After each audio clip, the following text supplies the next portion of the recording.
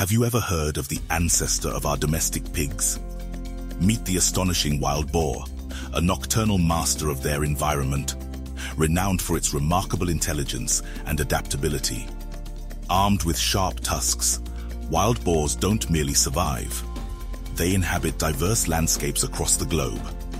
With their keen sense of smell, they thrive on a versatile diet ranging from plants and seeds to small animals, truly embodying the term opportunistic omnivores. But there's more to these wild boars than physical power. They communicate using a variety of vocalizations and scent markings, reflecting their complex social structures.